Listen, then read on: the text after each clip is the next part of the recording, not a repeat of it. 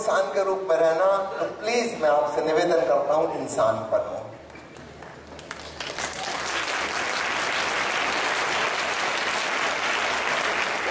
अपने बच्चों के साथ एक फ्रेंड्स की तरह व्यवहार करना सीखो।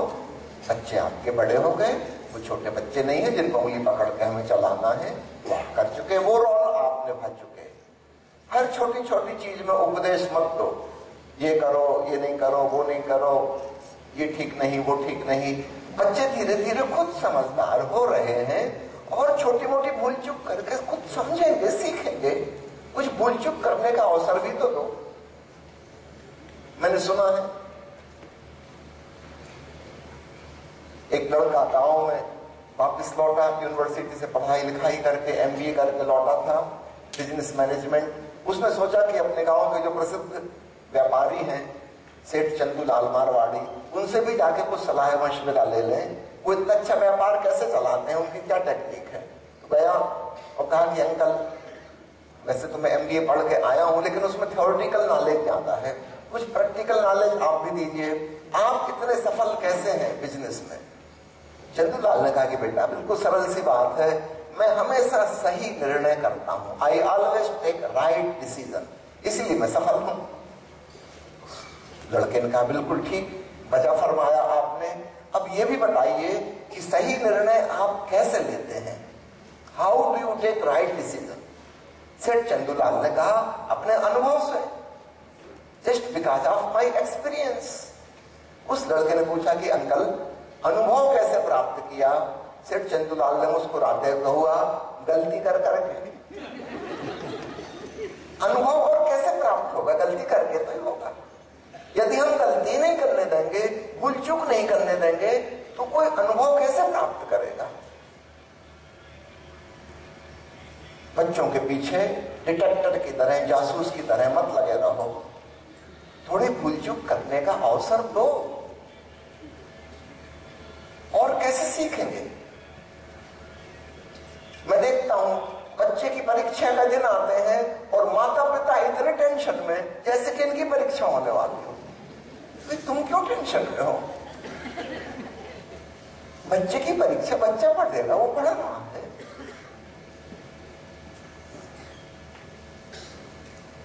इन्हीं माता पिता का समझो वहाँ ध्यान प्रोग्राम में आने का बुकिंग थी वो कैंसिल कर रहा है, उनसे पूछा, क्यों कैंसिल कर दी वो कहते, नहीं, बच्चे का एग्ज़ाम तो बच्चे का एग्ज़ाम बच्चे को कर लेते, इसमें तुम्हारा क्या रोल है? हर चीज़ में पीछे मत पड़ो। अपनी सीमा समझो, कहाँ तक हमें इंटरफियर करना है बच्चे के जीवन में और किस सीमा के बाद हमें उसे छोड़ देना है। Respect the freedom of your children and students यदि तुम रिस्पेक्ट चाहते हो तो तुम्हें रिस्पेक्ट देना सीखना होगा और इसमें शामिल है रिस्पेक्ट ऑफ़ द फ्रीडम स्वतंत्रता का सम्मान।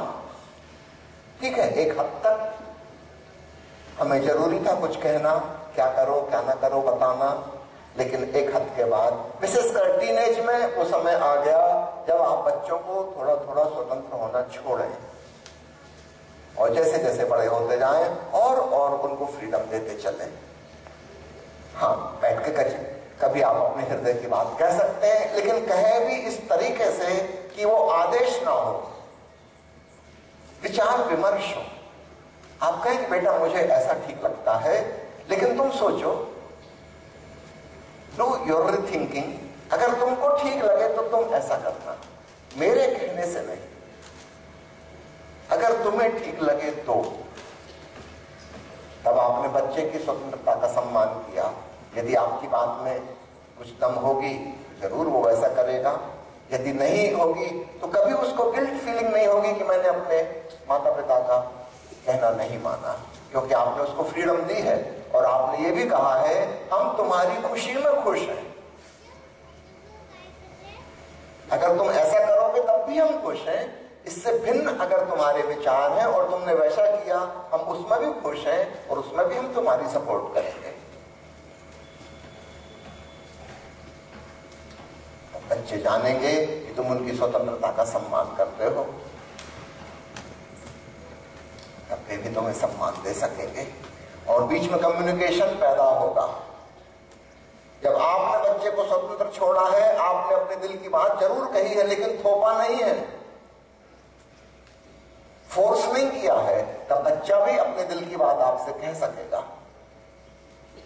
अभी थोड़े दिन पहले मेरी परिचित हैं, वहाँ सोनीपत पर रहते हैं। उन्होंने बेटी की शादी की। दो महीने बाद बेटी ने सुसाइड कर लिया। बाद में सब चीज़ें पता चली। जिस लड़के से शादी हुई थी, उसके लड़के की माँ ने फोर्स किया था उसको। उसका किसी पंजाब, पंजाबी लड़की से प्रेम था और ये थे जाट परिवार के। माँ ने कहा कि अगर तुमने पंजाबी लड़की से शादी की, फिर हम अपनी सारी वसीयत से तुम्हें बेदखल कर देंगे। एक पैसा तुम्हें नहीं मिलेगा। तुरंत घर से निकल जाना। हमारी ज़मीन जायदाद में से तुम्हें कोई हिस्सा नहीं मिलेगा। वरना जाट लड़की से शादी करो। और ये जो लड़की के बाप थे, इन्होंने अपनी बेटी से एक दो बार पूछा। लेकिन हरियाणा में इतना आतंक है, प्रेम विवाह का। लड़की किसी से प्रेम करती थी, लेकिन वो कह ना सकी। आपको शायद हरियाणा के बारे में पता नहीं होगा।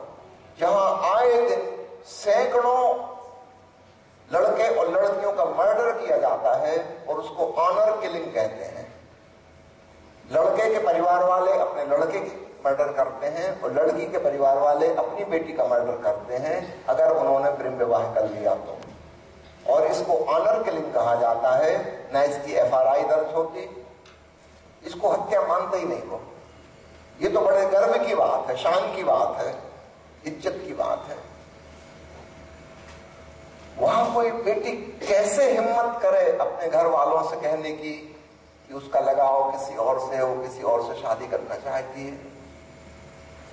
इसी बात पे तो आए दिन मर्डर होते हैं। उस बेटी ने नहीं कहा, शादी कर ली चुपचाप। उस लड़की के प्रेमी ने सुसाइड किया, उसके अगले दिन उस लड़की ने सुसाइड कर लिया।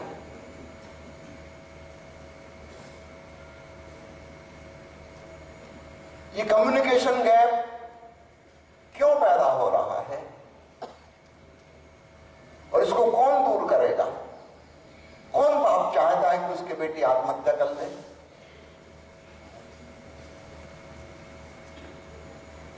और वो लड़का जेल में बंद है।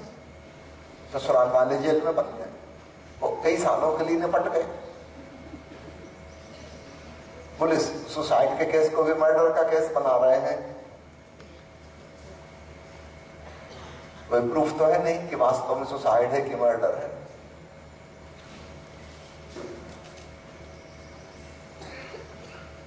ये जो कम्युनिकेशन गैप है, इसको दूर करने के लिए पुरानी पीढ़ी वालों को ही कदम उठाने होंगे। अब उदाहरण के लिए इस घटना में ये बेटा और बेटी, इन दो परिवारों के, ये क्या कर सकते थे? इनके हाथ में तो कुछ है नहीं। कुछ करने योग्य था। तो इनके माता पिता के ही हाथ में था। यदि जनरेशन गैप को मिटाना है तो पुरानी पीढ़ी वालों को अपना अहंकार छोड़ना होगा और नई जनरेशन के साथ, नई सोच के साथ उनके संग बैठना होगा, उनके विचार जानने होंगे, उनकी भावनाएँ जाननी होंगी और वो एक दोस्ताना तल पर ही जानी जा सकती हैं। तो पुराना जो आतंकवादी रुख था माता पिता का वह छूटना चाहिए। मैं सारी थोड़ा सा डिस्टर्बेंस चाहूँगा। मेरे चेहरे पे धूप आ रही है तो मेरी कुर्सी पीछे खिसका है